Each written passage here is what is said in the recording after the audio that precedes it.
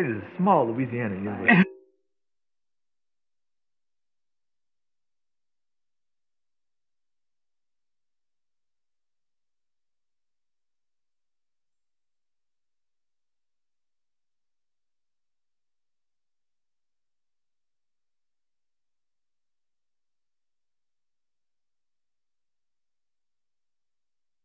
misinformation.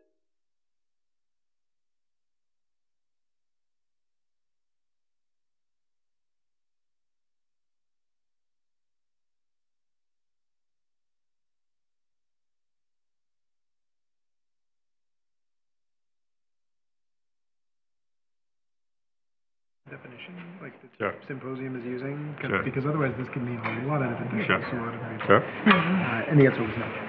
No, we have no, we have no definition. Have- I'm using the most lo- loaded term there is, propaganda. I'm just like, I'm just going to go with propaganda. Yeah, that'll get people's attention. Yeah, that'll, that'll wake them up. Slumber.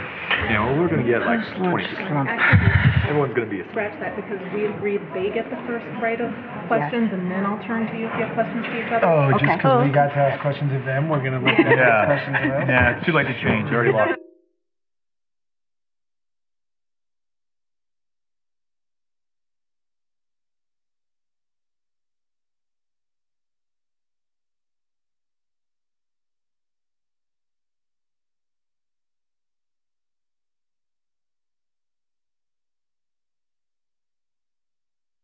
Panelists. I hope so.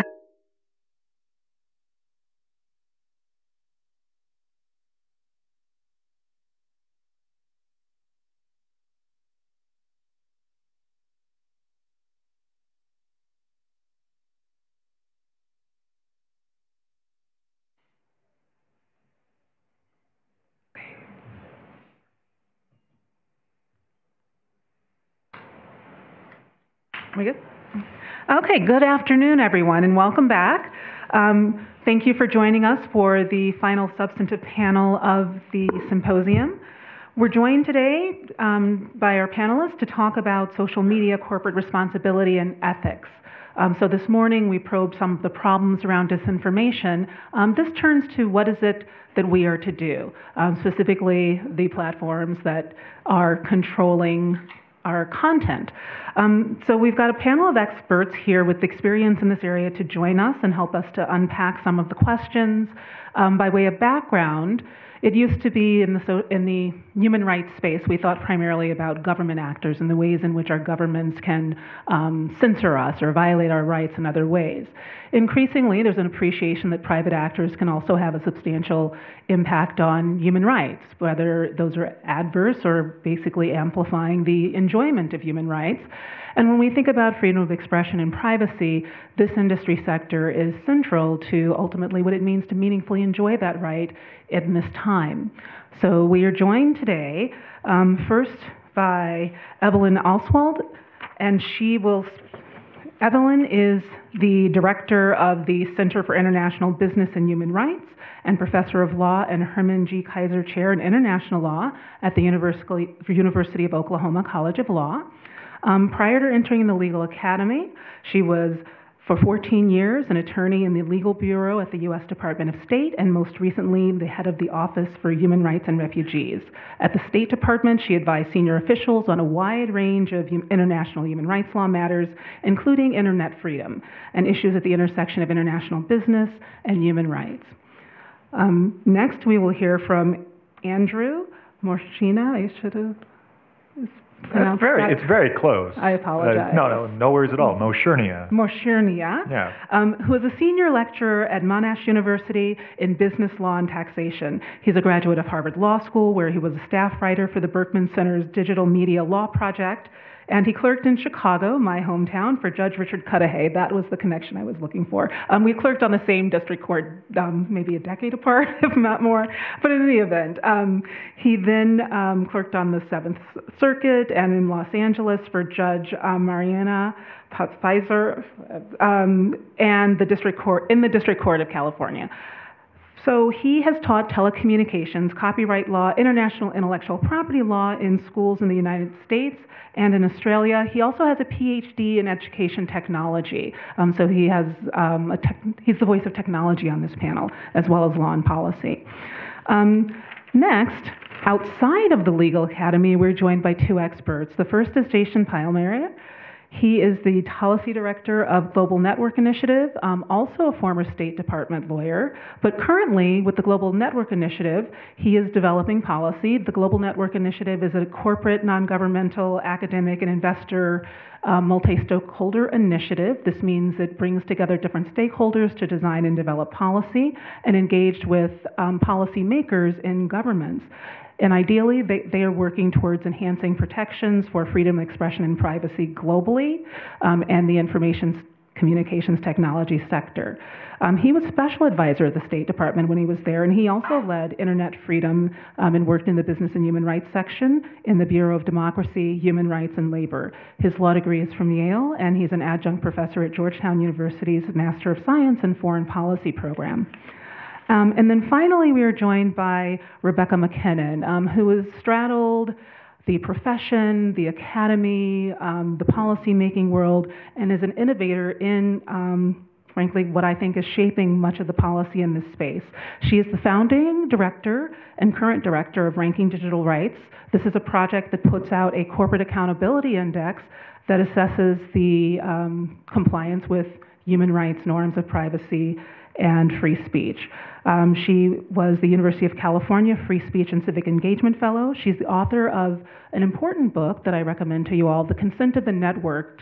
Um, this was published in 2002, and I think in the early stages of this conversation starting around governance um, of the public sphere and private institutions. She's a founding member of the Global Network Initiative. Um, she was on the board of the Committee to Protect Journalists, and for years she was CNN's bureau chief in Beijing. So she saw up close and personal some of the human rights impacts of um, suppression of expression.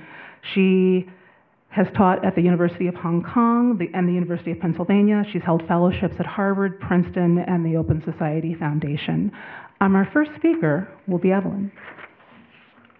Thank you so much. Uh, good afternoon, everyone, and thank you to the Utah Law Review uh, students for hosting us, Professor George and Professor Andersen Jones. It's been a pleasure meeting uh, your larger community and being hosted in such a beautiful facility today and participating in such a timely symposium. As the social media companies that we've been discussing today are global platforms, I thought it would be helpful to discuss their corporate responsibility um, through the lens of global business and human rights frameworks. So today I wanted to do two things. Um, first, I wanted to discuss the leading UN business and human rights framework for companies generally, how it works, what it is. And then the second thing is apply it to the context of corporate uh, corporations, platforms um, tackling disinformation. So the first question, what are the UN guiding principles on business and human rights, which I'll refer to as the UNGPs? I have to admit, in the early 2000s, when I was at the State Department, we were grappling with what do we do with these large multinational actors that are having these adverse human rights impacts on individuals throughout the world. International human rights law was formed for and geared towards state action. Obviously, companies are not state actors. After many years of negotiations at the UN, lots of hand wringing and some gray hairs, um, in 2011, uh, at the UN Human Rights Council in Geneva, the UNGPs were adopted. And I would like to just drop an oral footnote to say the U.S. government was on the council at the time and endorsed them and has since, on several occasions, encouraged American companies to treat these, the UNGPs as a floor and not as a ceiling so a minimum standard in their business operations. So let's unpack what the UNGPs do, what they mean. And maybe I'll start by saying what they don't mean first. They do not apply international human rights law wholesale and directly to companies. But what they do specify is that companies must, um, companies have a responsibility to respect international human rights wherever they operate even if the local governments are not respecting those human rights. The UNGPs further um, break down that responsibility to respect into two prongs. First, companies must seek to avoid uh, infringing the human rights of others. And second, they must address the adverse human rights impacts that they have. So let's think about that seeking to avoid prong when it comes to social media companies tackling disinformation. They're going to have at least two angles they need to think about. First, is the platform cooperating with governmental requests or laws to tackle disinformation when those laws or requests don't meet international human rights standards? And second, are the platforms, by their own business choices, their own business models, their own uh, corporate speech codes, infringing on human rights when tackling disinformation? To avoid infringing on human rights, the UN guiding principles give a lot of guidance on what companies should be thinking about and doing, from having human rights policies to having appropriate staffing within their companies of people who are international human rights law experts to having a, a, process to engage in human rights due diligence, right? Where they think ahead of time before launching a, a product or a business model about how that might uh, influence or impact human rights, and they're expected to engage with external stakeholders when they do that.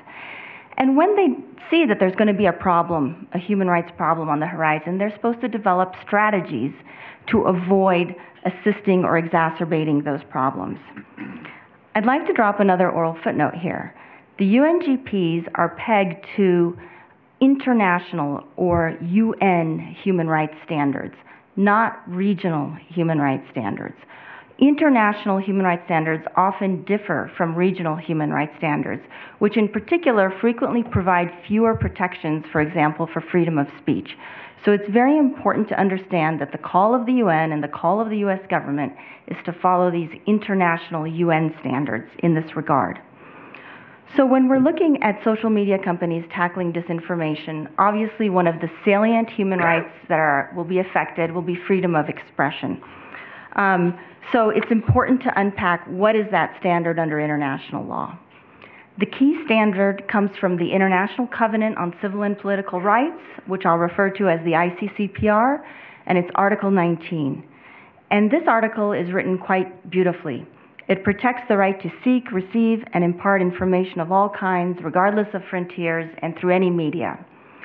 It does, however, give states the discretion to limit speech when they can meet a three part test. And that three part test is a one strike, you're out test. Okay, so here's the three part test. The first prong is known as the legality test. And it says uh, essentially the restriction must be provided by law, which means a variety of things, but usually the focus is is the law unduly vague, right? Uh, does it give appropriate notice to those being regulated? Does it give those uh, implementing the law too much discretion? So that's the first prong. The second prong is a legitimacy test. The restriction on speech must be imposed for a legitimate listed public interest objective, such as the reputations of others, national security, public security, etc. And you can't invoke one of those terms as a pretext to secretly protect the regime in power, for example.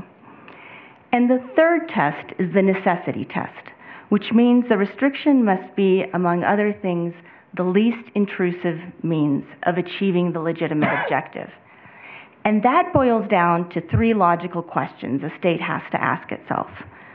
Does it have good governance ways of achieving that legitimate ends without infringing on speech at all? If so, don't restrict the speech. If you can't do that, then are you choosing on your continuum of options the least intrusive measure? Are you choosing criminal sanctions when you could have civil sanctions, for example? You have to think through that. And third, are you monitoring continually if the restriction is effective or counterproductive? Um, if it's counterproductive or ineffective, it's an illegitimate restriction on speech. Two other protections that come into play from the international regime are you cannot restrict speech in a, in a discriminatory manner. And I would also note the international regime does have some mandatory bans on hateful speech, but those are subject to this three prong test that I just discussed which limits them significantly. Now, when I discuss that test, the three pronged test, those of you who are First Amendment scholars might hear echoes from the First Amendment.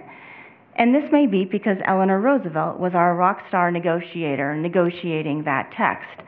Um, so there are enormous echoes and, um, and uh, connections to U.S. Uh, jurisprudence that come in through this international text. So, question two How do we think about applying these guiding principles and the ICCPR standard in the context of social media companies and disinformation? As we noted previously, the first side of the coin is going to be is a company aiding and abetting, assisting another government in implementing disinformation uh, strategies or laws that violate human rights. And what I wanted to raise today in this regard is that we're seeing a very disturbing trend of fake news laws being adopted throughout the world. Freedom House reports that between June 2017 and May 2018, 17 countries approved and, or proposed laws to, to fight fake news, which are being used to actually consolidate governmental power over information on the internet. So, a recent example I wanted to highlight comes uh, from Singapore, a law that went into force this month.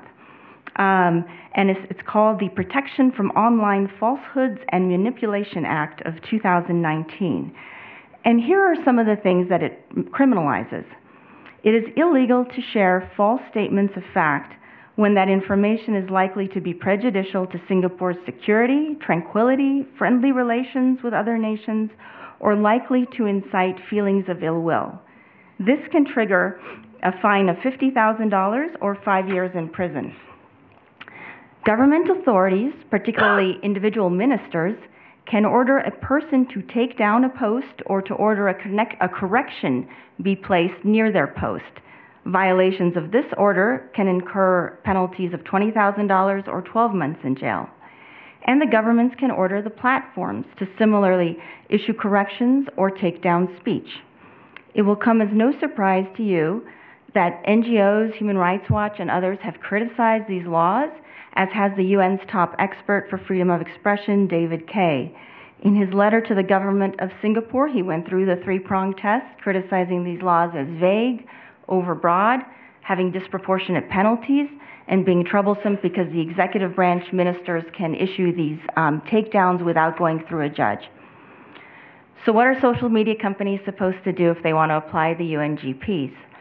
The UNGPs do not require the companies to violate local law, but it does require them to know that there is a discrepancy between local law and international standards and to show what they are doing to not aid and abet violations of the law, of international human rights standards.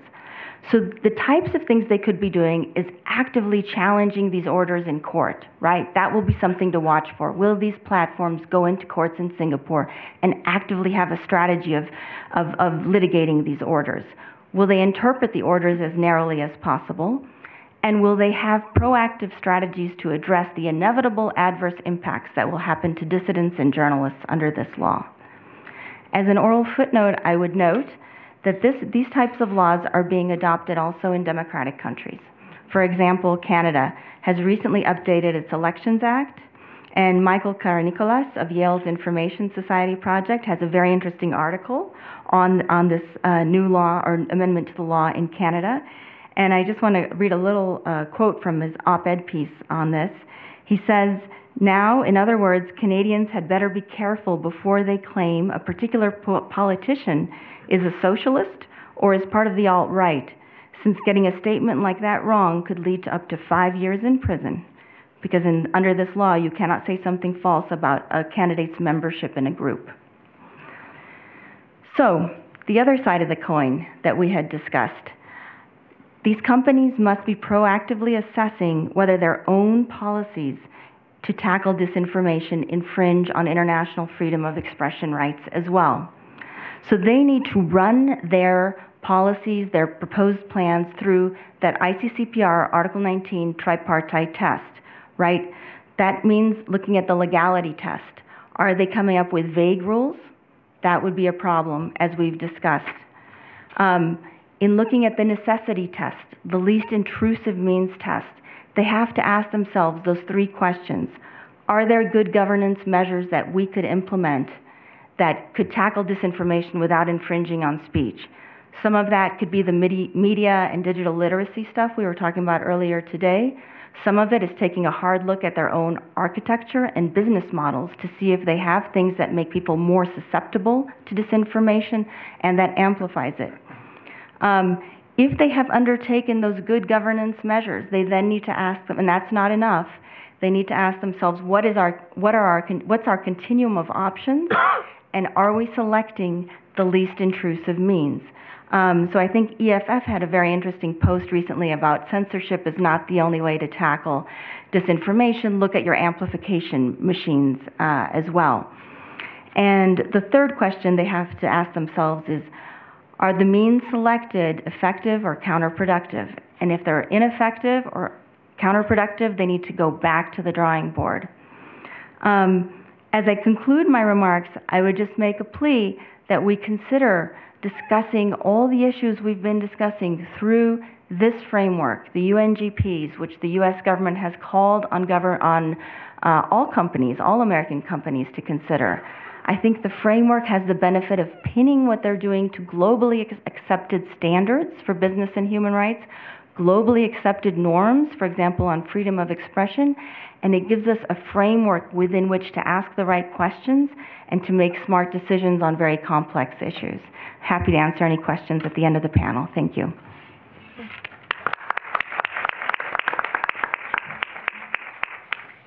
Um, and next, we will hear from Andrew, who does have slides.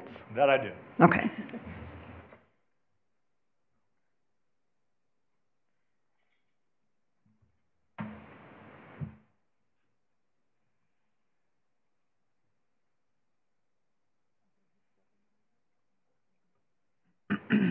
And we're happy.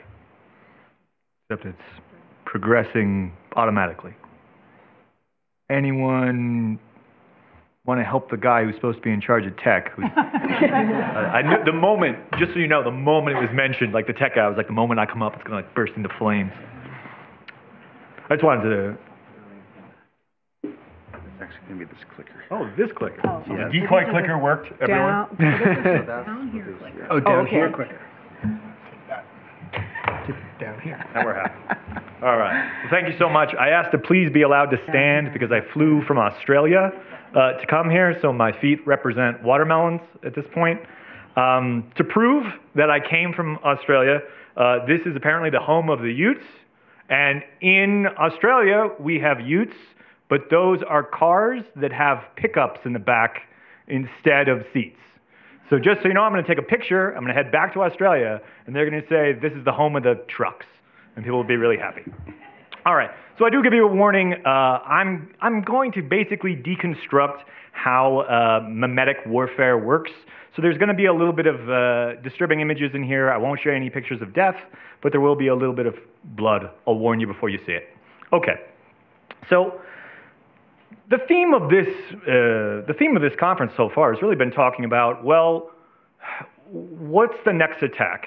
Okay we want to be prepared to fight the next war not the current war. What's the next attack? So let's proceed with some basic uh, some basic suppositions. That social media has much misinformation on it. I don't feel that we need to prove out this point it's true Okay, there are many proposed models to fix this. You've already heard several of them.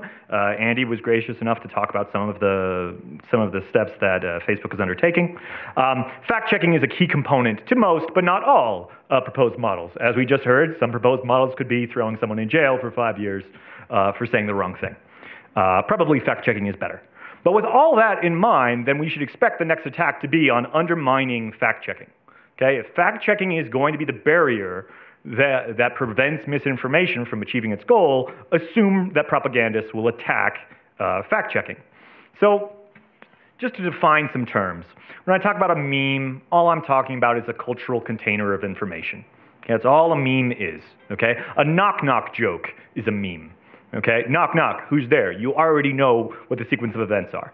Okay? All a meme in this case means is going to be a programmatic way of repeating misinformation over and over. And the type that I'm most interested in, the type that I'm most afraid of, okay, uh, has two components. One, it's a genuine photo. Okay, you've heard a lot about deepfakes and the idea of like, well, deepfakes are coming and they're going to be so bad. I think we're already in the so bad era because you can take a genuine photo or a genuine piece of media and just frame it with a false caption and it becomes a weaponized meme. So, blood, sorry. For the example, okay, this is a weaponized meme uh, that made the rounds of both Facebook and Twitter and Instagram with uh, an amazing uh, frequency in the demonization of the migrant caravan of 2018. Okay, just to read this, this is a, a posting by Ginni Thomas, the, uh, the wife of Justice Thomas, and uh, she writes, The media won't share this, will they? It's an invasion, and thank God for President Trump. Uh, other memes make it much more clear that she's intimating that this is a uh, federal Mexican officer that was injured uh, by the migrant caravan. Uh, this picture has nothing to do with migrant caravan. This, this picture was taken in 2011. But simply by showing you a genuine photo, it's not photoshopped, it's a real photo, and lying about what it's about, I can repeat this over and over. So there's a different sort of dichotomy of different media that can be altered. So let me just take you through. And as a fun case study, let's look at attacks on American congresswomen. Because I don't know why, for whatever reason, they might seem to have lots of attacks directed at them. Okay? So, um, as an example of a legitimate piece of media, and for the purposes of time, I won't play the media for you, uh, there is a video of Congresswoman Omar dancing. She's dancing. Okay. Um, incidentally, when I've given previous talks like this, I've always made a joke that as someone of Middle Eastern descent, whenever I go to a wedding and people are taking photos, I ask that they hold up a newspaper to show that it's not 9 11. Okay? And this usually gets a laugh, and I'm glad that it did, except that would have been really good advice for Congresswoman Omar. Because what happened? Uh, a comedian, I put as many quotations around that word as possible, um, Terrence K. Williams, uh, authored a post that said, This is Congresswoman Omar dancing on the anniversary of 9 11. Okay? And, uh, you know, President Trump was bashed for playing golf on MLK Day, but it's okay for Omar to party? Okay? Hashtag, oh, and Omar must go. Okay. Um, this, this video is not from 9 11. Okay? This video uh, is from the 13th of September. Uh, but it was amplified by President Trump, and even after it was debunked as not having occurred on 9 11, uh, the president invited uh, Terrence Williams. This is now his, his uh, biopic. Uh, congrats to him. Okay. You could also uh, alter media. So, for example, you're familiar with the two videos creating either a drunken slur or a stammer of Speaker Pelosi. Okay, again, not going to rehash this. This was pretty much in the news. So here's an example of where you take uh, legitimate media, you just alter it a little bit. You say, oh, well, she's drunk, and it gets repeated ad nauseum. Okay? However, you could just uh, outright fabricate media.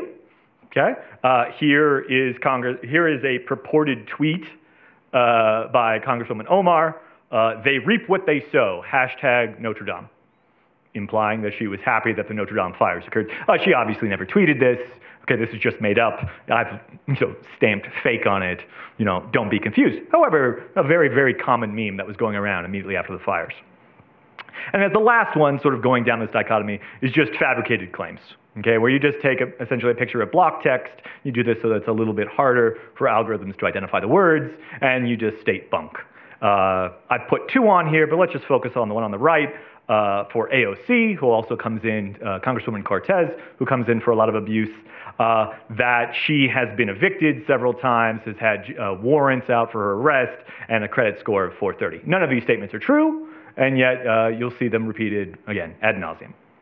So, why does all this matter? Well, demonizing people makes it easier for uh, unstable individuals to want to murder them.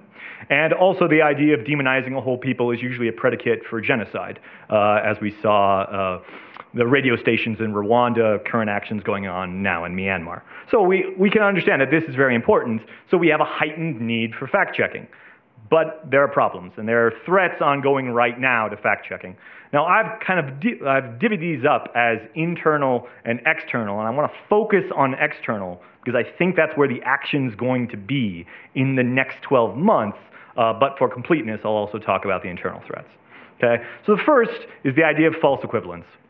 And the idea of false equivalence is that media fact checkers may want to uh, deflect possible claims of bias by detecting, quote unquote, equally false statements uh, across multiple political actors.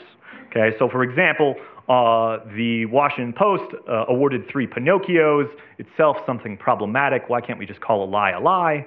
Uh, three oopsie goofs to, uh, to Bernie Sanders because he made the statement that uh, half a million medical bankruptcies occur a year. He based this on uh, a study that the uh, fact checker didn't think was sufficiently rigorous, and for this awarded three Pinocchios. Uh, President Trump has on multiple occasions noted that tens of miles of new wall uh, is already been constructed and more will be, will be done soon as well an obviously false statement. That is not true. These were awarded the same number of Pinocchios. So there's some false equivalence What whataboutism that's going to creep in. On the same side of that coin, again, this fear of bias is that there can be political pushback. So even when a uh, fact check is done thoroughly, uh, political actors can intercede to get that fact check delayed. And as we've heard from other speakers, latency is a huge issue. Okay, the longer it takes for you to throw the water on the fire, the faster the fire can, the further the fire can spread. So, for example, in fact checking a claim, the claim that was made that abortion is never medically necessary, regardless of your feelings about abortion, this statement is not true. Okay, the statement was debunked. Um, uh, Facebook took steps in, in line with their policies when something is found to be untrue.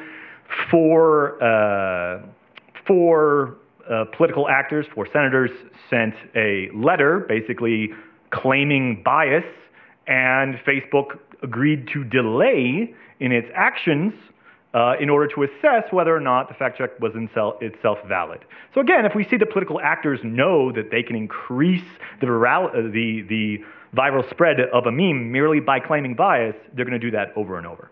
All right, so now I want to get to the heart of where I think things are going to go, which is external threats, that is, false fact checkers. If fact checking is the big thing, what we expect is going to be attacks against fact checkers, and the easiest way to do that is to create fake fact checkers. So, so for the first, I'll take you through, let me take you through the assassination of Jamal Khashoggi. Uh, Jamal Khashoggi was lured into a consulate he was uh, murdered and butchered. Uh, perhaps uh, the, uh, the Saudi government would have gotten away with this, but for the fact that he had brought his fiancee to the consulate, not inside the consulate, but dropped him off outside. Um, and Hatice never saw him leave. So she alerted the, the, the, Turkish authorities. I never saw him leave. He went in and didn't come out. So if you're the Saudi government and you're planning the assassination of an American resident dissident, um, you need to make sure that no one believes her. So what do you come up with? What you do is you launch a fact-checking group that you had that you had registered basically two weeks earlier to claim that she doesn't exist. She's not really his fiance. She's either an Israeli or Turkish agent okay, that's making this story up. And what you do is you get the fake fact checker to say, we looked at photos of them together, and she's photoshopped into all of them. The problem is they didn't know that the Turks had bugged the embassy, and so they had recordings of the murder. So they immediately had to change their strategy and say, okay, okay, uh, she's not an imposter. She's not an imposter. Everything that we wrote before was probably right, but unfortunately, he died during a fight that broke out. This is the actual language on this slide. A fight broke out. Um, so instead, they switched to he's a jihadist. Okay? And uh, President Trump, in repeating this slur, though disclaiming it, uh, did specifically note that it was Saudi representatives uh, that had brought it up. Okay? So what do we know about these fact checkers? They're easy to create, but you need to have them for a little while to establish goodwill. Okay? And really, they exist just to lend credibility to other propagandists so look for dormant or credible sites to go active during uh, salient times. Uh, number two, you can, you can just have an imposter checking group. So here you have an existing fact checking group and you create an imposter site that looks just like it. Here you have a real fact checker saying the HPV vaccine is not linked to cancer. On the other side, you can see the imitation group saying, in fact, it is linked to cancer. Um, The main thing that this group pushed out was the fact that the Skripal poisoning was unrelated to Russia, so we can be pretty sure that this was masterminded by Russian agents. And again, we have to be careful about this entering the discourse. There have been reports that President Trump has pushed this same narrative when uh, discussing the Skripal poisoning uh, with uh, then Prime Minister Theresa May. So here we have the idea of trading on the credibility and goodwill to push a message, and you get the added benefit, uh, be- benefit of damaging credibility of the impersonated group. But the main thing here, and the reason why I would focus on this, is that this requires the misuse of intellectual property. And the thing that I would like to push during this talk is to say, Yes, I understand that free speech is very important, but something that will get social firms to take things down is when you bring up the DMCA and you note that this is a violation of intellectual property, and those things go down very quickly. Okay? So this may be easy for you to detect. Alert the firm, let the firm know to contact social media and take this down. And the third, and this is going to be a longer discussion, so I'll abbreviate it, is you can impersonate fact-checked content. So rather than impersonating a, uh, a fact-checking group, you can just say, oh, this is a New York Times piece, or oh, this is a Bloomberg piece. The main group that's been doing this so far is Iranian. Uh, I, will, I do not say this out of pride. It's really a beautiful piece of work. Um, and if, if I have time during the questions, I'll tell you what's just very nice about it. But this is not pride of authorship. Okay. Uh, we'll, we'll jump to that. So what are some possible solutions? Well, the first is that we'd like to obviously to push ethical handling. Okay, the idea that social firms have a duty to prevent this, not necessarily sounding in law, uh, is something worth pushing. The idea that ICANN and other URL controlling groups can prevent cyber squatting, which is a necessary step to uh, impersonation, is also important. However, I would ask you to limit exposure. Okay? You, as individual actors, can limit exposure. When you see something that's so sensational it can't possibly be true, it's probably not. Please don't share it. When you post your, your pictures online, please watermark them because the removal of that watermark will create another action under the DMCA for you to have them immediately pulled down. We need to teach critical thinking and we need to employ reverse image searching to make sure we don't repeat the mistakes of attacks that uh, occurred against our democracy in 2016. I would leave you with this set of propaganda fighting posters from World War II. We are under attack. Please, you know, consider all the ways in which we need to defend ourselves. Thank you.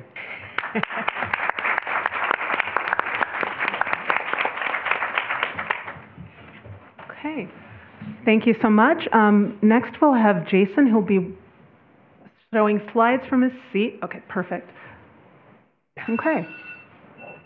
Time's up already. no, no, no. You're, you're, you're good. I we've got dual timing happening. You're Tight good clock. to go. All right. Well, Thank thank, you. Thank you. Um, uh, thank you, first of all, to Emily and the students uh, for putting this all together and for inviting me to be a part of it, and to Erika and RonNell as well.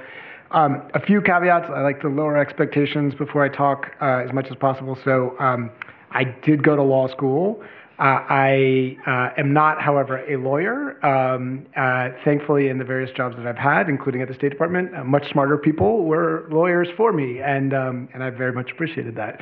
Um, I also am not an academic. I do teach at Georgetown, uh, as Erika mentioned, but I'm, I'm not an academic. I don't do academic research. Um, so unlike many of the other distinguished panelists uh, who've come before me and sit next to me, um, my thoughts will probably be pretty shallow. Um, and although I will be speaking about the Global Network Initiative principles, uh, I'm speaking in a personal capacity, and so please don't interpret my words as authoritative in terms of what the principles necessarily mean.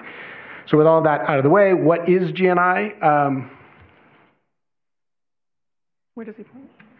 it was working. Do I point it that way? What are we pointing it at? I don't know. That, over there, apparently. Okay, so what is GNI?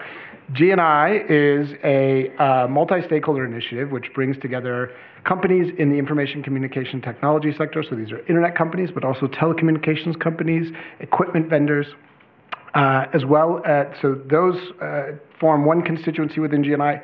We have civil society organizations, primarily media freedom organizations like the Committee to Protect Journalists and human rights groups like Human Rights Watch.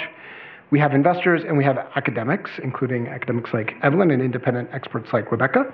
Um, all of these actors come together through GNI um, to push for and advance freedom of expression and privacy rights in the ICT sector. Um, we have a set of principles, the GNI principles, that guide companies on just how they should do that. Um, so the next slide uh, just gives you a kind of pictorial sense of how broad our membership is.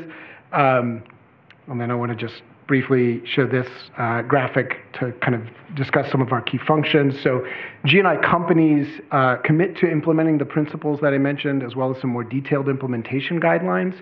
Um, and we have an accountability mechanism um, that we use our multi-stakeholder initiative to uh, to uh, help ensure that they are actually taking uh, good faith efforts to implement those principles and making improvements over time.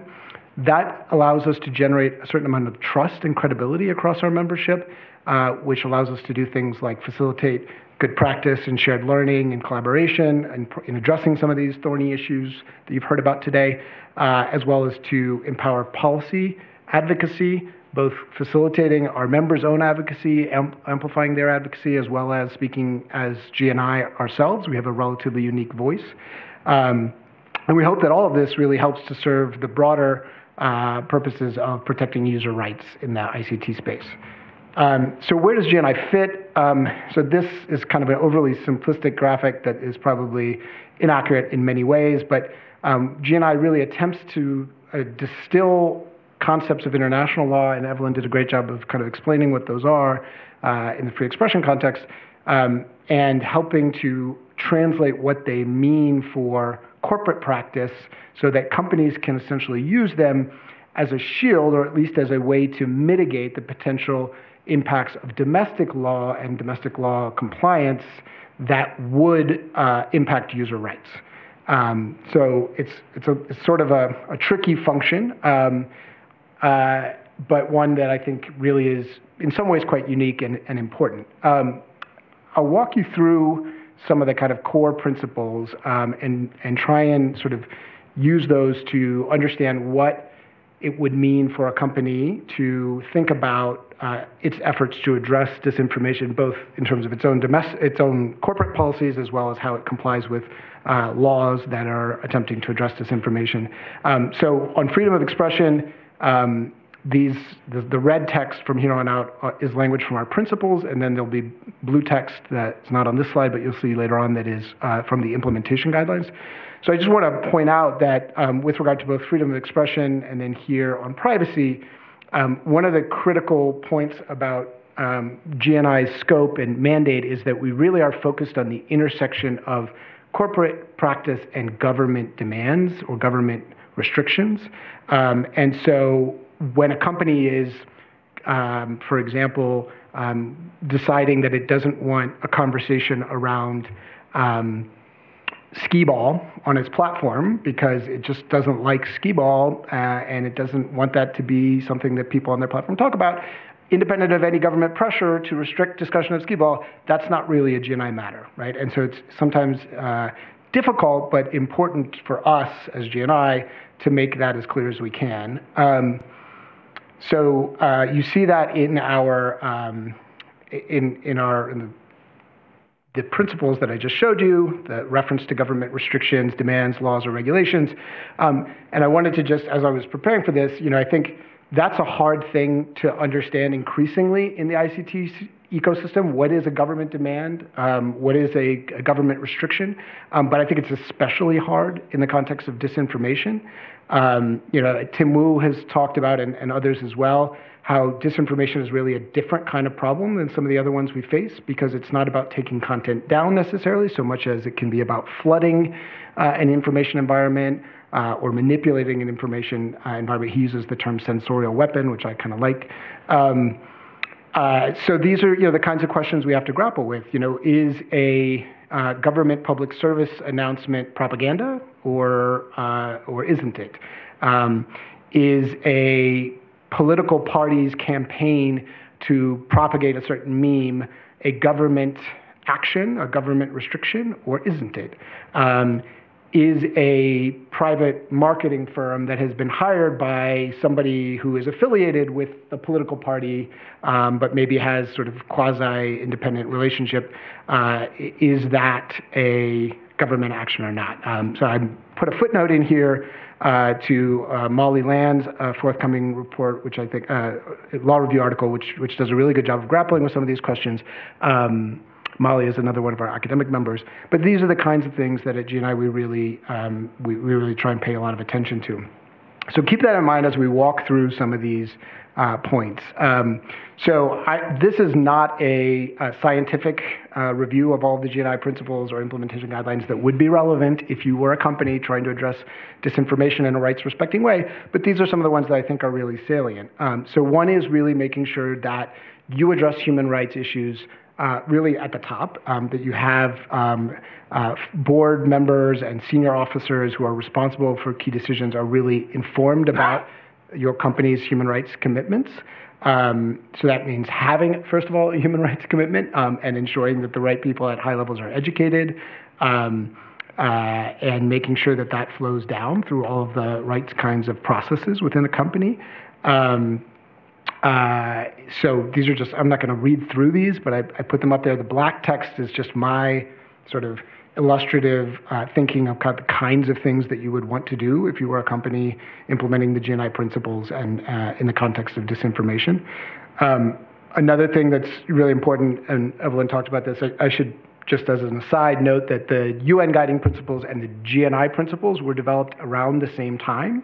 Uh, and there was actually quite a bit of crosstalk that was happening. There were uh, people involved on John, Professor John Ruggie's team, who was the, uh, the Secretary General's um, special representative for business and human rights at the time, uh, who participated in the GNI conversations. So the two are, and we have since uh, updated the GNI principles to make sure they're consistent with the broader UN uh, guiding principles. Um, so um, this idea of operational control is very similar to the concept in the UN guiding principles. Sorry, this is the wrong slide. Um, here. Um, uh, the, in the UN guiding principles, the concepts of um, cause and contribute uh, and directly linked. Um, these are kind of the key um, uh, ways for a company to um, understand when its conduct may end up uh, either facilitating or, uh, or in other ways um, uh, allowing a government to impose restrictions on, on the rights of their users. Um, this point 5.1 from the from the GNI principles about uh, collaboration is really important um, and something that, that GNI itself seeks to facilitate, but we also in, really um, uh, preach to, to all of our members that they seek out even broader ways uh, to, to collaborate. Uh, and I want to just note the, the approach that um, Facebook articulated this morning in terms of their efforts around disinformation, uh, as well as the oversight board, I think really are a good exemplification, in my personal opinion, of that kind of um, really proactive uh, collaboration and, and, seeking input from outside voices. Um, so uh, another key principle um, is around government engagement. Um, so that means everything from interpreting an order or demand or a restriction that it, uh, a company gets in the narrowest way possible so as to mitigate the human rights impacts of that uh, compliance. And that's very much consistent with what Evelyn was articulating about uh, the UN guiding principles and, and how they uh, recommend companies to, to address those kinds of domestic laws, um, but also about proactively engaging governments um, to uh, design and develop laws and regulations that are, are less rights infringing or less likely to put the company in a situation where uh, it may need to, uh, it, it may end up infringing on the rights of their citizens. Um, and um, and then Finally, um, being held accountable. So I mentioned how um, GNI provides a framework for allowing um, the non-company constituents of our board to be able to sort of peek under the hood, as it were, um, and look at uh, a company's own uh, actions to implement this very detailed set of principles and implementation guidelines. Um, that is all done in a very confidential manner through um, a, a, system that we've designed that uh, provides enough assurance to the companies that uh, the information that they are sharing, uh, much of which is sensitive for business reasons or other reasons, um, is not going to leak out. And on the other hand, giving the non-company stakeholders in GNI enough information to feel reasonably confident that they can make the kind of determination uh, that we ask them to, which is that the company is, is implementing these principles uh, in good faith with improvement over time. Um, and so far, we're now in our third cycle of assessment of GNI companies. Um, we're very happy that that process, you know, with tweaks and improvements along the way, seems to be working. Um, I don't I don't want to suggest that any of these things um, necessarily mean that GNI is um, the place where all the problems uh, that have been articulated on the previous panels uh, and others that no doubt will be articulated in the Q&A for our session um, can be solved. Um, we are, however, actively working on this issue of disinformation and thinking about how we can foster greater collaboration, um, both in terms of accountability as well as in terms of um, engagement with governments um, uh, and helping to come up with good ideas for our member companies. Um, and we are um, always very eager to share with other initiatives um, that are trying to foster greater collaboration, information sharing uh, about the lessons we've learned about striking that balance, for instance, between the need for confidentiality and the need for um, you know, legitimate assurance. Um, so we're very happy to be here to talk about all of that. Um, look forward to the Q&A. I did want to just close with one more slide to note that GNI is not uh, operating in a vacuum. Um, this is just a, a very preliminary list of all of the relevant sort of frameworks that I could think of that um, I think have something to say on this topic, um, starting with the kind of more business and human rights um, frameworks like the UNGPs and the OECD guidelines for multinational enterprises, um, to more technology and, and internet specific frameworks like the UNESCO ROAM principles. Um, you can see I forgot to fill in the dot dot dots here. There were some reports that I uh, should have uh, uh, cited here. Um, we've already heard about the, the reports um, from David Kaye, the UN Special Rapporteur on Freedom of Expression, um, that, that have touched on some of the relevant issues here. The Office of the High Commissioner for Human Rights, which is recently rebranded branded as UN Human Rights, is um, initiating a new project on um, business and human rights in the ICT sector, which will be very interesting. Uh, Reporters Without Borders has a new initiative uh, on information and democracy. The EU has its own code of practice for disinformation. And then um, lastly, just want to commend um, a series of papers that have recently been produced by the Transatlantic High Level Working Group on Content Moderation Online and Freedom of Expression. Uh, in particular, the one that Camille Francois from Graphika uh, put out on actors' behaviors and content. So that's, uh, that's it from me, and um, look forward to the Q&A.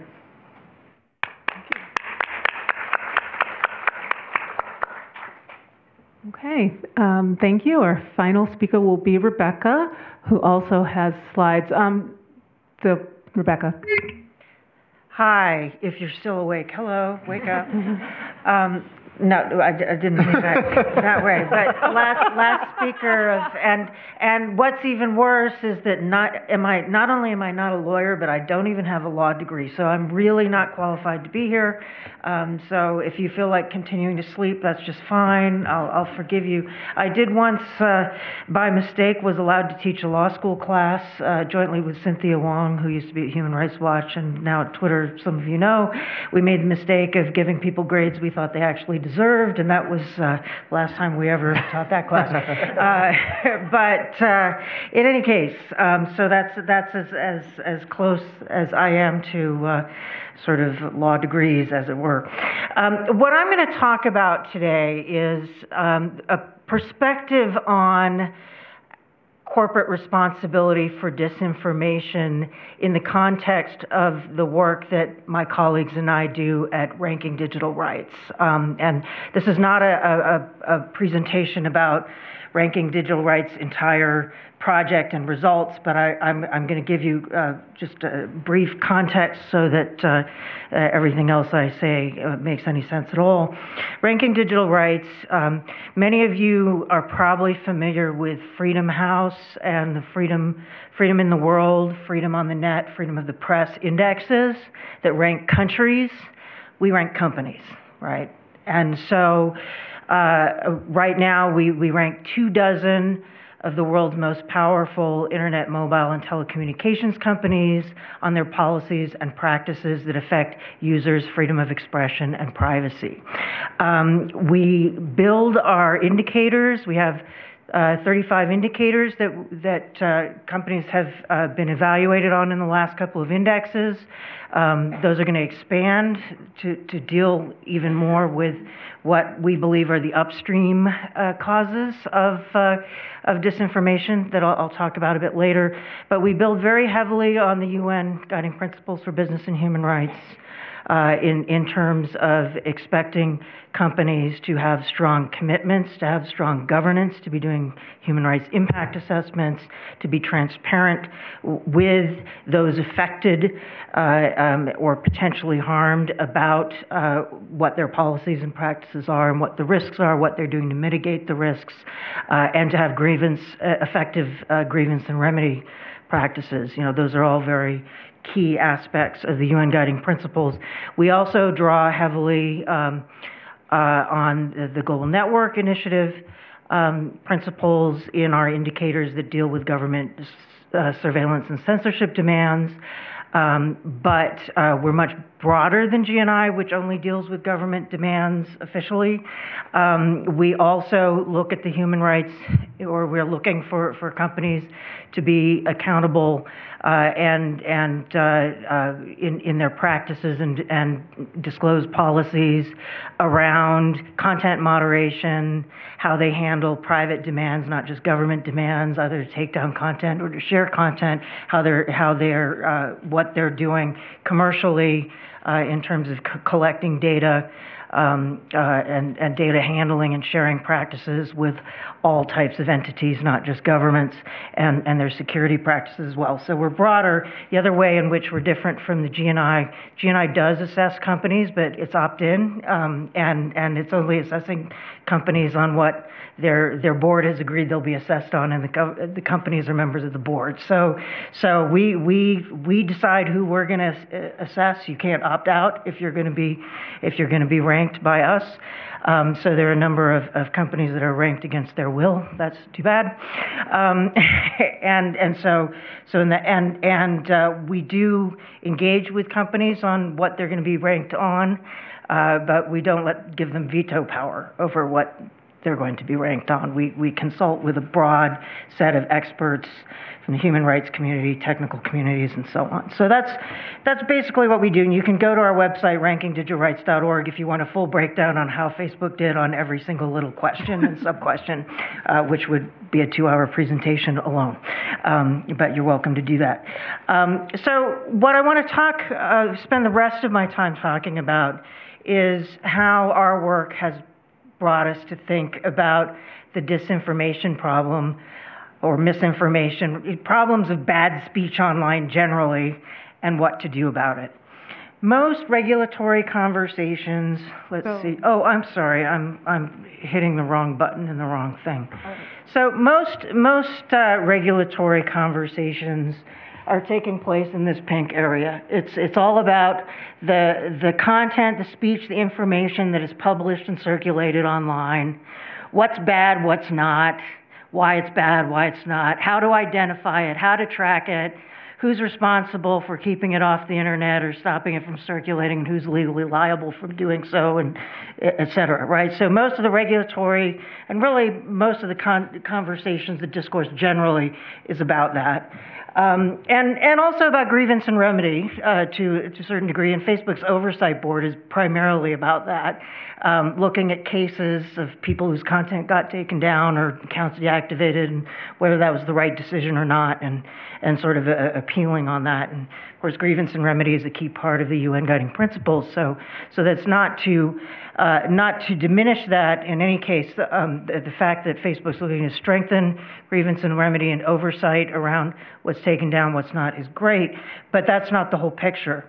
There's all these upstream issues, and several speakers throughout the day have talked about the importance of looking at the underlying factors that contribute to the dissemination and prioritization uh, the virality of certain content uh, or the ability of those who are seeking to weaponize information to, to reach certain audiences.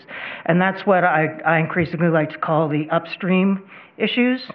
So, um, so our indicators and again, this is not a seminar about all our indicators. You can go onto our, our website and, and look at them. Um, but really deal very heavily with the governance around the risks.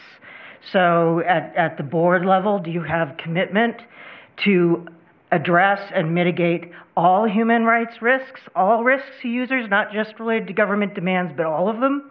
Impact assessment, are you doing impact assessment to, to understand not just how your handling of government demands is, is dealing with, uh, is, is affecting users' rights, but how your business model is affecting users' rights, how your use of, of how your design of your platform, how your algorithms and so on are affecting users' rights engaging with stakeholders to, to understand how people are being affected and, and in the formulation of the rules. And then being, trans, then being clear um, uh, about what your policy is and, your pol- and in, engaging in your policy formulation processes and also transparency reporting uh, about, in, in the case of speech, all the different factors that cause some that cause speech to either be shaped or taken down or restricted or a speaker to be silenced or limited in any way. What are all the different ways in which speech, speech can be shaped or restricted? And is the platform being sufficiently transparent about all the different ways under whose auspices under what authority um, and and uh, while Jamil talked about transparency reporting, um, you know, being something that that companies are, are making improvements on, there's a long way to go in terms of people really being able to understand all the things, all the factors that led to you seeing certain things and not other things. Uh, in your feed or being able to reach certain audiences and not, uh, and who has more power to reach un- different audiences under what circumstances than not. Um, so, a few things from our uh, uh, our 2019 index that kind of speak to these upstream factors. I'm just cher- cherry picking a, a, couple of, of points of data. So, uh, in our governance indicators, oops, I keep I keep hitting my computer and not not the thing. Um, in our governance indicators, uh, we look at how comprehensive companies' human rights impact assessments are, and I've just flagged the three companies that kind of whose names are most closely associated with, with disinformation and misinformation problems. Um, so there's a variety. This is the overall score. This this indicator actually has um, basically a dozen different elements um, that that lead to this. We're looking at impact assessment on government demands. We're looking at impact assessment uh, on a range of other things as well. And so to to kind of break that indicator down a little bit. Um, three of the elements of this indicator look at does the company conduct impact assessment on their terms of service and enforcement? Only three companies in the entire index do any impact assessment on their terms of service and enforcement. Note who is not here. None of those three companies that were flagged on the previous slide, um, including the one represented today. Um, who's doing any impact assessment around their algorithms, auto, automated decision making, and AI. These are the, the, the, companies that show any evidence of doing such. Um, note whose absence. Is anybody doing impact assessment on how their targeted advertising business models affect uh, users' rights or, or the rights, you know, also, we're, we're, you know, when, and we're talking about human rights, we're talking about affecting communities as well as individuals. Um, there is nobody. So to, to go through this quickly, oops, hang on. Yeah, we are seeing some improvement in, in some areas. So in 2015, nobody was issuing any transparency reporting data about the volume and nature of content that they re- removed in enforcing their terms of service. That has improved. We now have four companies that are releasing increasingly detailed information about what's being removed when they enforce their terms of service. So, so that's good. Uh, however, um, transparency about handling of external requests to restrict ex- expression, so that's transparency about government demands and the both the circumstances under which you respond to government demands as well as private demands. So whether it's DMCA takedowns or, you know, depending on what jurisdiction you're in, there might be defamation cases or whatever. Um, so there's there's varying quality of disclosure, and uh, and so you can kind of see the, the three companies I, I flagged there and, and so on. There's a lot of room for improvement in this disclosure, um, which I, I think the opacity about what's happening to people's content and who's trying to get it taken down, um, if we don't understand that, it's much harder to have a clear conversation about the, the human rights implications and who's responsible and where the abuses are potentially happening. Um, so then to move on, um, another root cause um, of, of disinformation, as some people have already pointed out in some of the previous presentations, has to do with targeted advertising. The fact that digital marketers can obtain uh, information uh, about users in very segmented, uh, categorized way and, and target them with specific messages, including including disinformation or, or other other messages they want to target those people uh, with to get them to do something, whether it's to buy something or to act in a certain way or to hate somebody or whatever, uh, or vote in a certain way. And uh, in terms of disclosing the just, just disclosing options that people have to actually control the way in which their information is used and shared, we have a long way to go. Um, uh, in in terms of that kind of disclosure. And I would I would just point this is another root cause uh, that I think regulators and, and sort of the discourse in general around what companies need to be doing is focused too much on you know you're not censoring well enough and less on you know the the, the fact that the, the, the, the ability to target with messages and the design of the platforms to, to target people with messages is very sophisticated. Um, and so, just quickly then, um, I'm just going to point you to some new indicators that we've just published that we're going to be using in our next, or that we're going to pilot for use in our next index that get in an even more granular way at what we believe are upstream causes of disinformation, misinformation, but also other forms of content people don't like that's not necessarily illegal. Um, so, algorithms, machine learning, and artificial intelligence, as well as targeted advertising, um, with with a lot of emphasis on due diligence and transparency. And I don't have time. I'm not going to read through this whole thing, and and you can go online and look at the new indicators. But I would just um, quickly say that in our new indicators looking at algorithms, automation, and ma- machine learning, um, we're looking for the ability for not only disclosure, but a lot more uh, option to opt out or opt in on what, what types of things is being curated in your account. Um, minimize the differential impact of content uh, automated content moderation on, on users.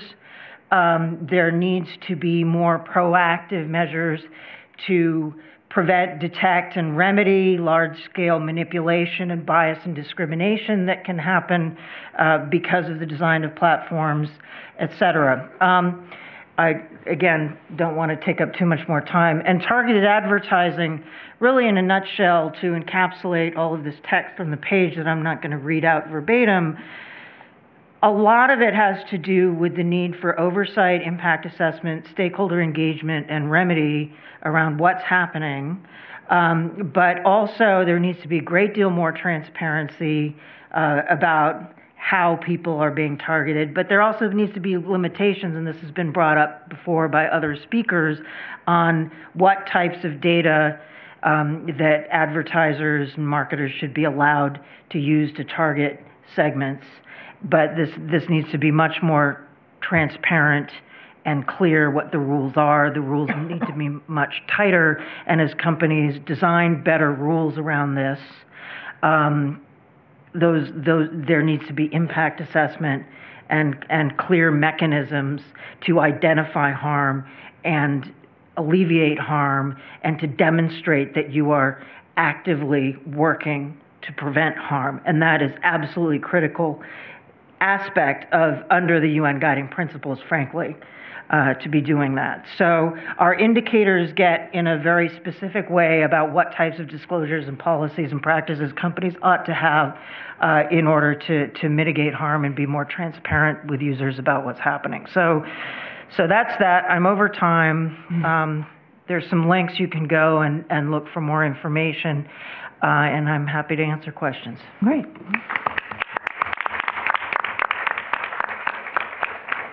All right, and as is our custom, we will turn to those experts in the conference to pose the first questions. I just wanted to make a couple summary remarks to link the content of this panel.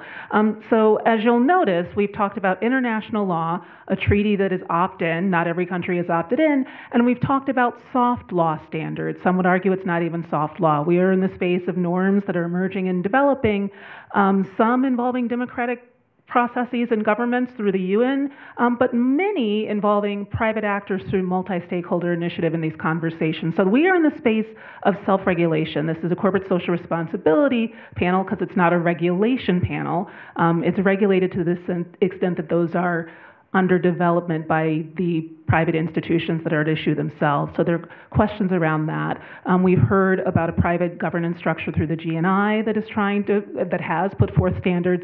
And Rebecca's work enters at an interesting place because it's trying to assess the extent to which there's implementation of the standards that do exist, um, few of which yet maturing into hard law, um, putting aside EU type regulations.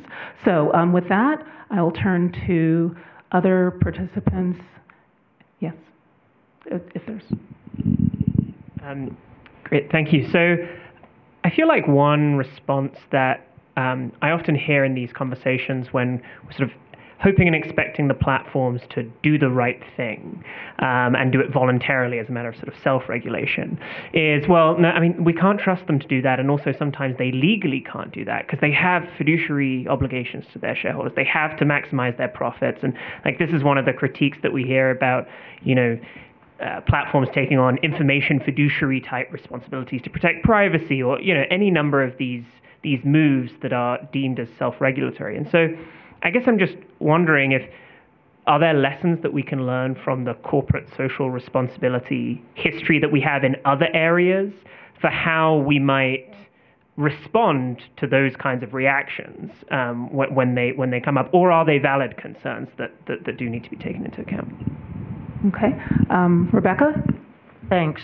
That's a great great set of questions. Um, First of all, I mean, I, I guess with, with the work that Ranking Digital Rights does, and I think the work that many people uh, on the panel does, I, I don't think the message is this should all be voluntary and there should be no law. That uh, if, if we had good privacy law in this country, uh, scores would go up in a number of indicators, and that would be a very good thing. And, it, and it's become, we, we've done an analysis of that increasingly, you know, there are certain indicators on which companies seem to be willing to act voluntarily, and then other indicators on which it's going to take law. Um, and uh, so, and and also there are some companies that do a lot worse in the index because they're in jurisdictions that prevent them from respecting users' rights much more than others. Uh, and so there's that interplay there. Um, so, so that's one thing that that uh, I, I think, and particularly when the within the UN Guiding Principles framework, first pillar is government duty to protect human rights and then corporate responsibility to respect. But the, the corporations, the, the company's ability to respect is handicapped if the government's not doing its job, and none of them are doing their jobs. It's just to varying degrees of how badly, right? So, so that's that's kind of one thing. It's all it's all intertwined, and it's about okay, given that we can't wait for governments to get more perfect before we push companies to do better, we want companies to do everything they can to, to mitigate, anticipate, and design around and operate around companies, uh, governments not doing their job. Uh, so that's that's one thing. Um, in terms of of uh, you know, companies' fiduciary responsibility. You know, the, famously in August, the Business Roundtable came out with a statement admitting that uh, a company's responsibility isn't just to shareholders, it's to stakeholders. And actually, there's there's been a community of investors and and actually companies who, for the last couple of decades, have been operating in that way, right? Um, and uh, recognizing that uh, not only do companies have a responsibility to contribute positively to society um, uh, and and not sort of run the planet so ragged that you know they can't succeed anyway, right? And to contribute to a to a sustainable world in which our children and grandchildren can even live, uh, let alone be free, um, and, and, and so on. And that's that's kind of part of, of the expectation of the company. But in, increasingly, companies realize that um, there are long-term material risks with acting irresponsibly.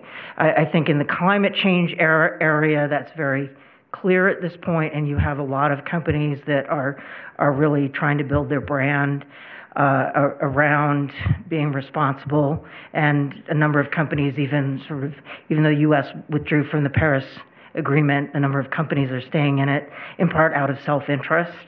Um, and, and so similarly, I think in the digital rights realm, a company that's screwing their users by abusing their data, in the long run, that's abusing people's trust, and that's not good for your business. And there's an increasing number of shareholders that recognize that, and you're seeing a growing number of shareholder resolutions uh, being brought forth to companies, insisting on better governance, insisting on better risk assessment, and insisting on more responsible practices. So, so it's, you know, th- there's there's uh, no reason companies, you know, it, for for a company to say, I can't do anything about my advertising business model because I would be you know, violating my agreement with shareholders. It's bullshit. Oh, okay, not to put, um, just a two-pointer on this. There's some shareholders, there were a couple of derivative shareholder actions filed in the aftermath of the Cambridge Analytica debacle for um, Facebook. So, um, but I understand you had a question, Andy. Sorry about my language. Thanks. Uh, first of all, thank you all, and and and thanks for for including us in this conference. This whole day has been um, terrific. So uh, we've been very much in listening mode, not uh, sort of back and forth, but it's been we've been taking it all in. Very fair points and valid criticism all the way around. So appreciate the um, the the discussion. The uh, question and a bit of a uh, maybe this is for for everybody. It was b- building off something you'd said, Rebecca, on the um, the chart that you had around uh, the oversight on the oversight board in particular. Um, yes, users are meant to um, offer an appeal, or ask for an appeal. The the other mechanism is that Facebook can send to the board uh, decisions that it, or, uh, sorry, Facebook can send cases to the board uh, where it says we need we want you outside outside experts not uh, paid by Facebook to make these decisions uh, that actually then do go up to the top of your chart to inform policy. And all of these are, yes, there's a case that you were deciding should that piece of content be up or should it not, but it's all meant to do that. And so my question is actually around the transparency of that, because uh, that that's meant to all of that is meant to be public, right? The board's decision is meant to be public. Facebook then responds publicly. And I guess my question is how, how for everybody is how what what way in what ways could we be more transparent about how that's working? Does that question make sense?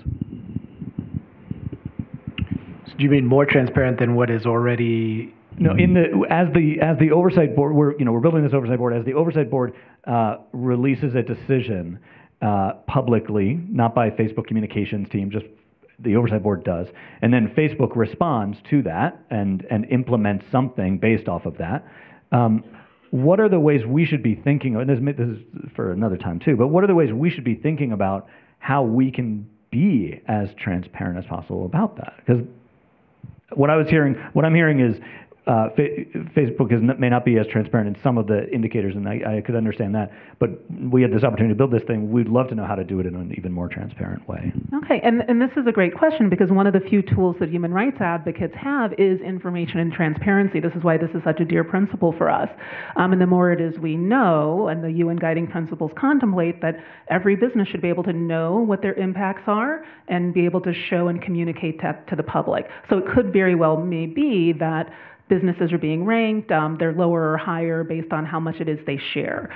So if I can just maybe reformulate or simplify the question, um, in what ways can industry do better in sharing relevant, salient information that speaks to human rights impacts that could be actionable, informing policy and informing those of us who are trying to defend human rights? Fair? No?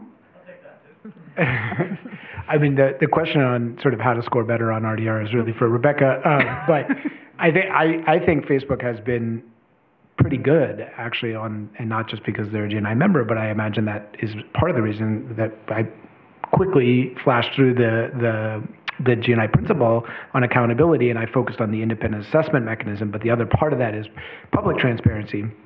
Um, and even before this um, appeals mechanism was designed, Facebook began to be transparent about the minutes of the um, conversations, the internal Facebook conversations about the content um, guidelines, and if and when those were to be changed in the wake of various issues, including um, feedback that that content moderators were were providing up the chain, as it were, within Facebook. And I thought, you know, that was a very that was not something Facebook had to do, but it was something that I think gave insight to the users, and particularly those who are, you know, really interested in grappling with what it means to be governing speech at that kind of scale. Um, and that I think will continue, as I understand it, under this new um, mechanism, because that essentially the the appeals mechanism will feed into that conversation. Um, I think you know making sure that that's ideally all available in one place, so that the the board's determinations, which are not Facebook content, but is is related to, of course, then Facebook's own responses, um, which you indicated, which you, you mentioned are going to be um, also made public, um, not having to sort of switch between various websites to be able to see the full picture. I mean, that kind of thing is very mechanistic and simple, but but can can make it a lot easier for someone from the outside who's trying to understand how this all works. Okay.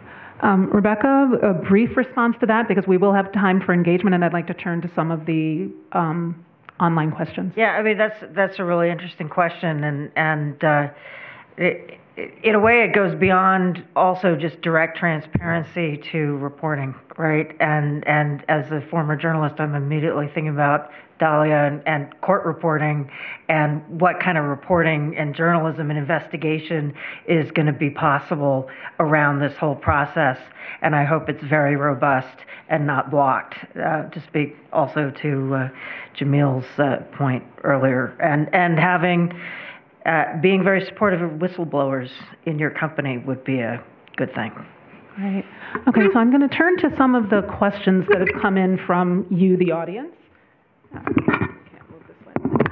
Um, there were a number of questions, actually, Andrew, about your presentation and some of your proposals. Um, the audience would like to hear more about the um, end of your presentation where you talked about um, maybe the user beware or the, the, the, final World War II posters that you shared. Sure. Uh, and then the second one is the intellectual property concerns with the photos and memes. Um, and the producers of content and social media sites, can they be punished for these violations? Are there violations for reposting memes? I guess it's in a nutshell asking us how we would deploy copyright protection law to be more protective of, of society. Okay, I'm going to take the second part first. Um, so, reposting something that is copyright infringement in and of itself is not going to have uh, liability. Uh, basically, the reason why firms are responsive to this is because there's uh, essentially immunity for third-party posted content under the Communication Decency Act, Section 230. However, there is a um, uh, a carve out for intellectual property misuse. So, uh, one of the ways that you can deploy copyright to stop uh, hate speech is that uh, propagandists tend to reuse the same photos over and over, and those photos are owned by either Getty Images or uh, whichever photographer took those. You alert Getty, you say like, "Hey, did someone pay the licensing fee to use this?"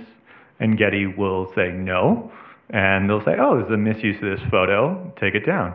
The example that should spring to mind, and I'm not saying this was necessarily hate speech, uh, but uh, the tweets that President Trump has uh, pulled down have largely involved using music and music videos that don't belong to him. And uh, Twitter, which hasn't done a great job of pulling down other things, uh, pulled those down toot sweet. So uh, that's that's number two. Uh, so number one, which is now number two, uh, which are what are the different ways that people can help cut this down. Uh, so you're part of the content churn, which is really unfortunate. So um, you're uh, you're both the audience, you're both the cow and the lion um, for uh, for this project. And so how can we make you a little bit less the cow?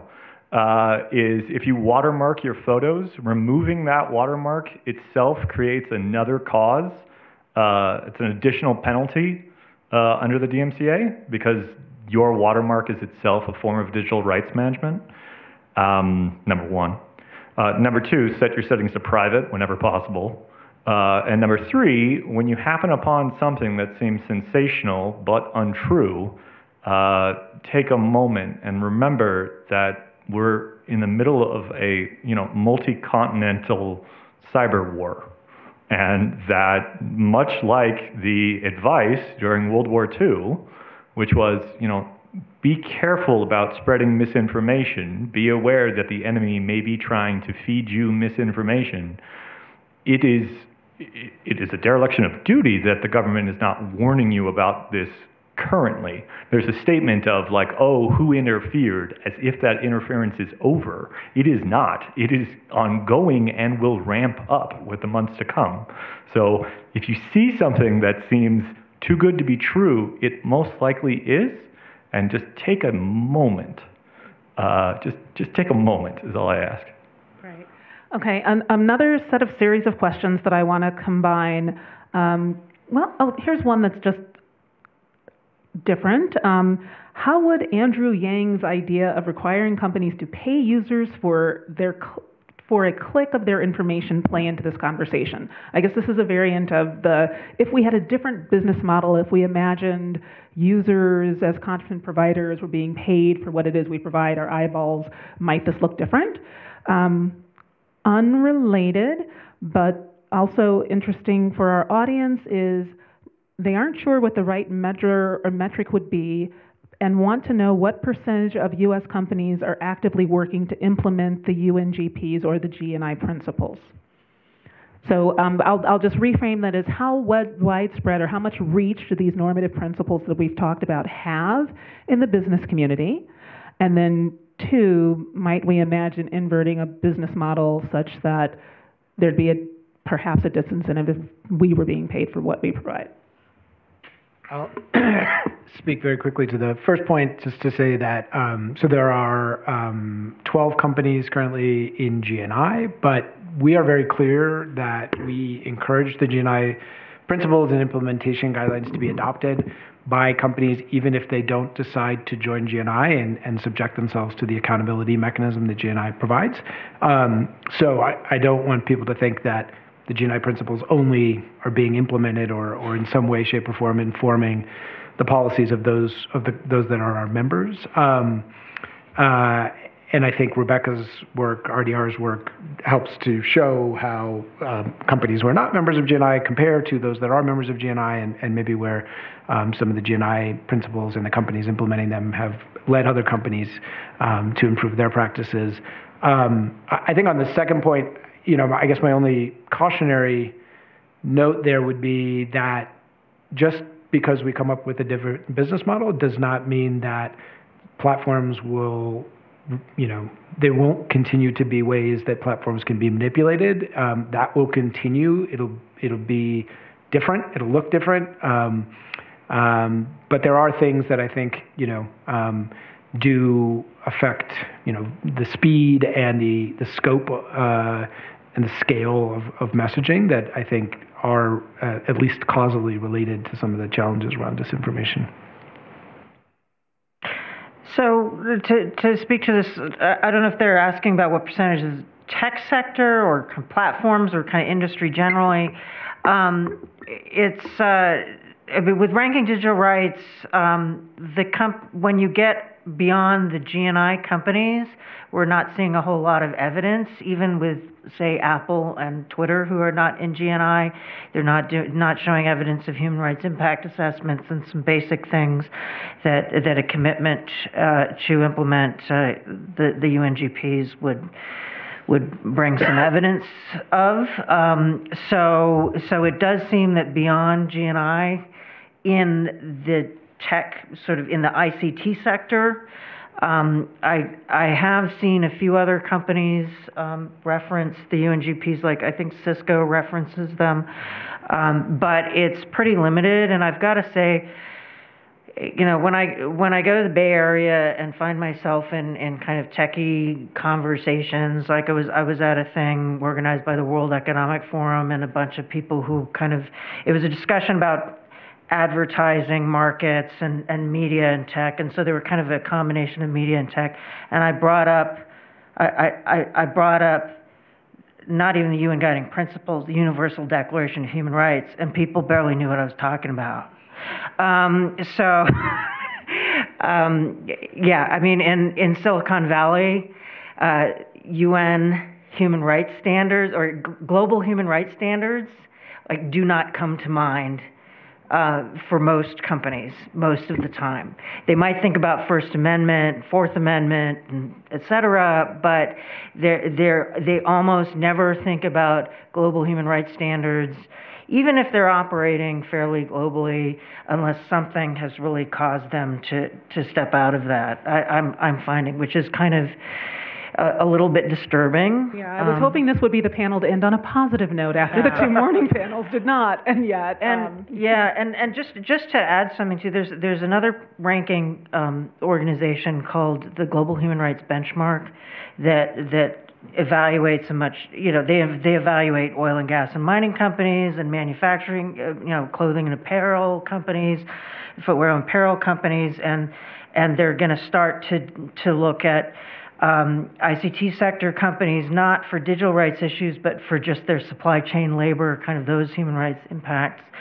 And it is my understanding they, they haven't come out yet, but but uh, apparently the ICT sector companies, in, in terms of their kind of implementation and reference to UN guiding principles, is much lower even than say the extractive sector. Okay, yeah. Well, they've, they've faced litigation longer, the extractive sector. I don't know, maybe that's the answer. Um, but please join me in thanking our panel.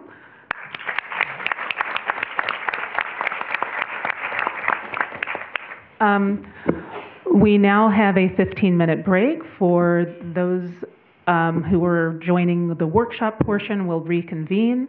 Um, but I'd also like to thank Emily um, and her colleagues at the Law Review who made this possible, and my partner RonNell in this, as well as those who've participated throughout the day.